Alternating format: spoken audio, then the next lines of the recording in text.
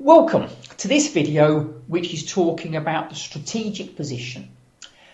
In section 3 of Unit A we are talking particularly about the external environment. We're talking about what goes on in the outside world that might affect an organisation.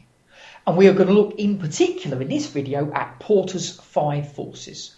So first of all, we'll have an overview of what the external environment means, and then we'll go quickly through each of the individual five forces.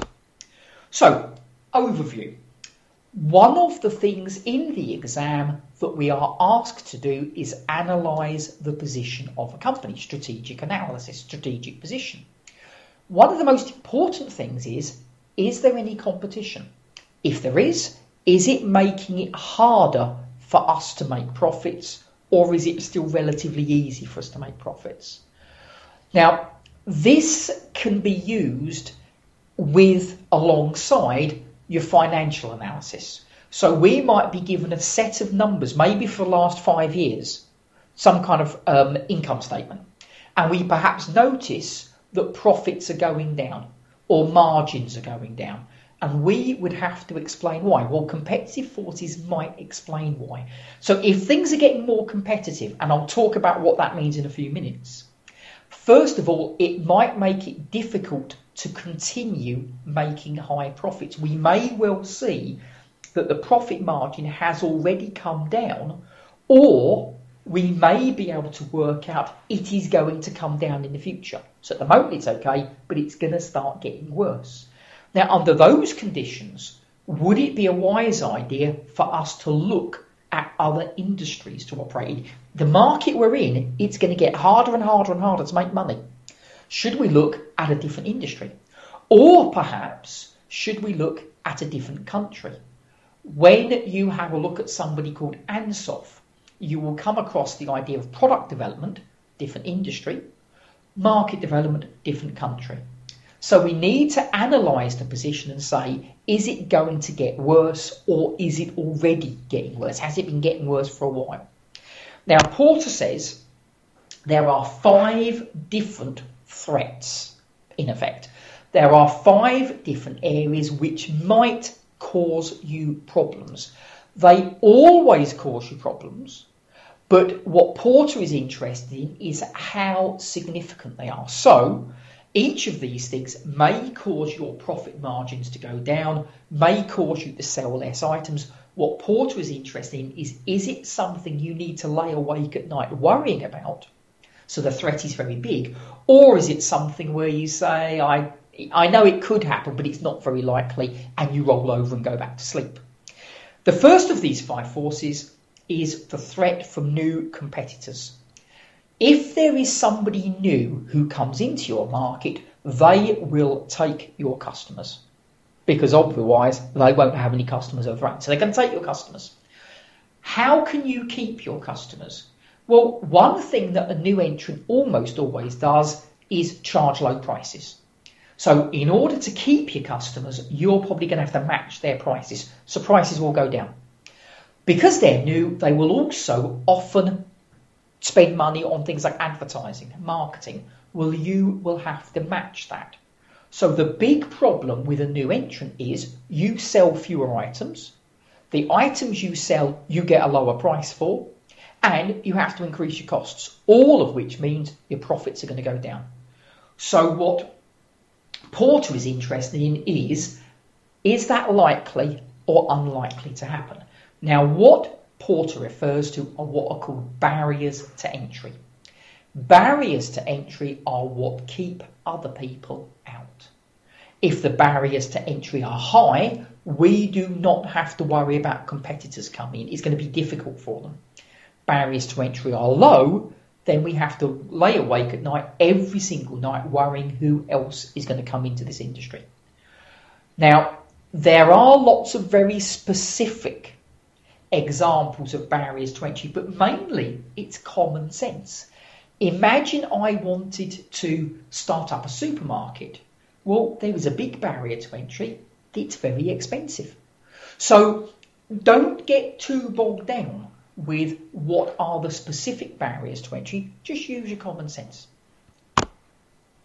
The next one that we have, what about the existing competitors that we have?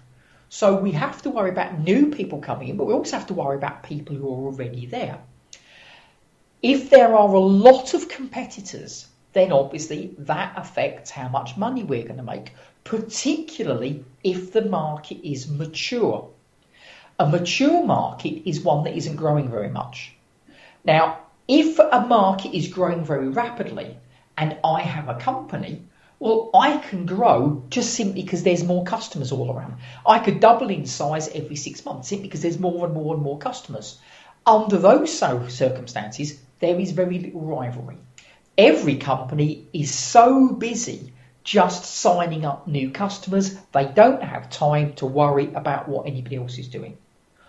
But when the market turns mature, it means there aren't really any new customers. There will be some, but there aren't going to be nearly as many as they were. Now, under those circumstances, how does a company grow and get more customers? Well, the only way is to start taking them off of their rivals. So in the past, they could just grow and grow and grow. Now, the only way to grow is to take customers from somebody else. So there will be more rivalry. Customers.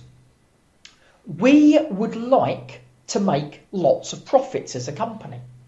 One way to make lots of profits as a company is to raise your prices. Now, that's what all companies would like to do. The trouble is, customers don't want prices to be put up fairly, obviously. Weak customers will have to put up with it. A weak customer is one who says, I don't want you to put prices up, but the company goes ahead and does it anyway. A weak customer is one we don't really care very much about. Powerful customers, on the other hand, we need to keep them happy. Let's say, for example, that I had a company and 95% of my sales went to one customer. What happens if I try and put prices up? My customer is going to say, Your prices are too high. If you don't put them down again, we're going to leave. Now, what am I going to do? 95% of my revenue is coming from one customer. I'm going to put the prices back down again, aren't I? I'm not going to, I cannot afford to annoy that customer. On the other hand, if it was a customer that we only sold half a percent of our revenue to, we had, we had hundreds and hundreds of customers and all fairly small. And one of them said, if you put your prices up, I will leave. I would say, goodbye, close the door on your way out. It's not really going to bother me that much. So we need to look at are our customers powerful, which stops us putting prices up. The flip side of that is suppliers. We also need to think about whether our suppliers are powerful because if they are, they will put their prices up, the prices that we have to pay. If they are powerful, what do we do? We pay it. We have no choice. If our suppliers are weak, they will put their prices up and we will say, we will go somewhere else.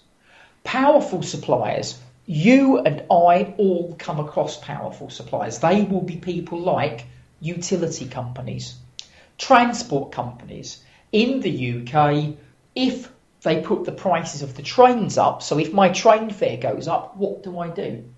I pay it. I have no choice. I have no other way of getting to work. So some cost, some companies are powerful suppliers. Often they are powerful if there is not many other places that you can get something from.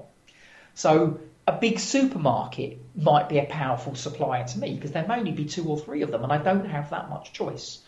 In the exam, the examiner will give you clues as to who the suppliers are, if it's a Five Forces question, and he will give you clues as to how powerful they are. We don't want powerful suppliers because they will put their prices up that will put our costs up. The final one of Porter's five forces is the threat from substitutes. Now, again, I would like to put my prices up. I would like to reduce the quality of my product so that I lower my costs. Prices up, costs down, profit eh, profit going up, brilliant. The trouble is, substitutes, if there are lots of other products that the customer could buy instead, then what will happen? If I put my prices up, they will say, we could get this from somebody else. If I lower my costs and perhaps reduce the quality, customers will say, we can go somewhere else. So lots of substitutes stops you from increasing your margins very much. So, in summary, this is a very practical exam topic. You will be given lots of information about how easy it is to enter, what your current rivals are like, what the suppliers are like, what the customers are like, and what the substitutes are like. Or if you're not given them, it's because the examiner expects you to use your common sense and think about them. Now, it's a very important part of the strategic position because if it's easy to get into the industry, we won't make as much profit. Lots of rivalry won't make as much profit. Powerful customers, powerful suppliers won't make as much profit. Lots of substitutes won't make as much profit. We have to know that because it might well be that this industry is not going to make much profit and maybe we should look at doing something else.